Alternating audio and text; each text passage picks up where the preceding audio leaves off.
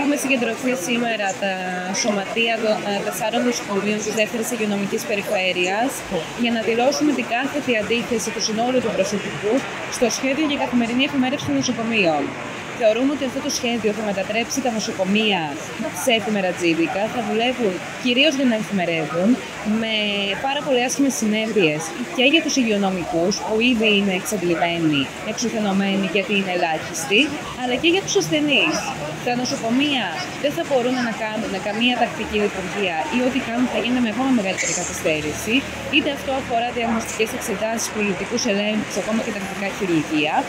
Και επίσης θα υπάρχει μια τεράστια πίεση για να διεκπεραιώνονται γρήγορα οι ασθενείς, με αποτέλεσμα να μην μπορούν να γίνονται όλες οι απαραίτητες εξετάσεις, οπότε καν σε αυτού που νοσηλεύονται.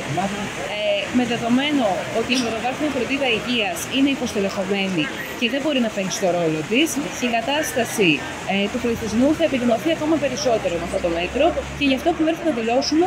την κάθετη αντίθεσή μας και να απαιτήσουμε να μην εφαρμοστεί. Βρισκόμαστε ένα μήνα μετά την ε, ψήφιση του, ε, δύο μήνες σχεδόν μετά την ψήφιση του κατάπτυξη του νομοσχεδίου που προβλεπόταν μέσα στο καλοκαίρι για την ολοκλήρωση της ιατρικής μεταρρύθμισης.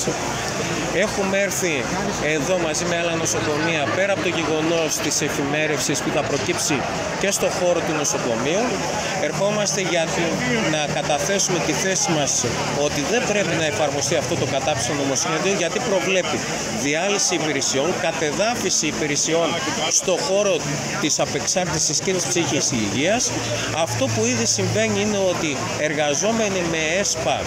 που είχαν ολοκληρώσει το προηγούμενο διάστημα τη διαδικασία του προγράμματος, αυτή τη στιγμή τους λένε να έρθουν με προγράμματα που να δουλεύουν με μπλοκάκι εργασίας. Το έχουμε το παράδειγμα από το Χατζικώστα το νοσοκομείο που τελειώνει τέλη του, του χρόνου το πλαίσιο με το ΕΣΠΑ και δεν τοποθετούνται κατά την ευθύνη του κράτους, αλλά περνάνε και τους λένε να έρθουν με μπλοκάκι εργασίας. Θέλουμε να διασφαλιστούν όλες οι θέσεις εργασίας των εργαζομένων, γιατί αυτή τη στιγμή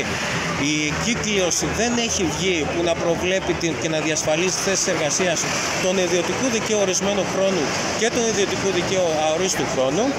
τοποθετούν και αφήνουν ατομική ευθύνη του εργαζόμενου. Αν θα διαλέξει και με τι τρόπο θα διαλέξει χωρίς στην ουσία να του λένε ότι θα εξασφαλιστεί η θέση μεταφορά της θέσης εργασίας του πουθενά. Και επιπλέον προβλέπεται η διαδικασία να φέρει την κατεδάφιση στους χώρους των υπηρεσιών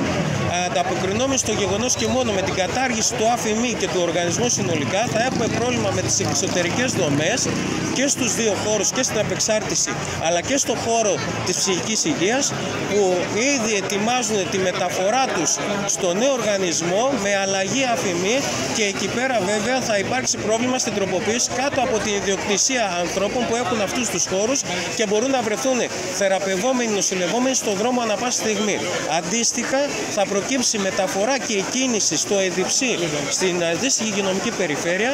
των υπαλλήλων ανάλογα με τις πρόσχερες ανάγκες που επικαλείται κάθε φορά το, το ίδιο το Υπουργείο για να καλύψει θέσεις και μπαλώματα στις υπηρεσίες με προσωπικό. Με τη σημερινή μας συγκέντρωση έξω από τα γραφεία της δεύτερης ΥΠΕ, τα σωματεία εργαζομένων της δεύτερης ΥΠΕ συνεχίζουμε τις κινητοποιήσεις μας ενάντια στον εγκληματικό σχεδιασμό της κυβέρνησης για μετατροπή των νοσοκομείων σε εφημεραζίδικα που θα έχει δραματικές συνέπειες για την υποβάθμιση της τακτικής λειτουργίας των νοσοκομείων, την ποιότητα της παρεχόμενης περίθαλψης στους ασθενείς, την εντατικοποίηση των υγειονομικών και θα εξυπηρετήσει μόνο την ακόμα μεγαλύτερη πρημοδότηση με πελατεία και κέρδη του ιδιωτικού τομέα. Μετά τη σημερινή συγκέντρωση και τη συνάντηση που είναι προγραμματισμένη με το διοικητή της δεύτερης ΥΠΕ, θα ακολουθήσει νέος κύκλος γενικών συνελεύσεων και συνεδριάσεων διοικητικών συμβουλίων των σωματείων μας και θα προχωρήσουμε και νέες κινητοποιήσεις με επόμενο μεγάλο σταθμό την Πανεγειονομική Απεργία στις 17 του Οκτώβρη.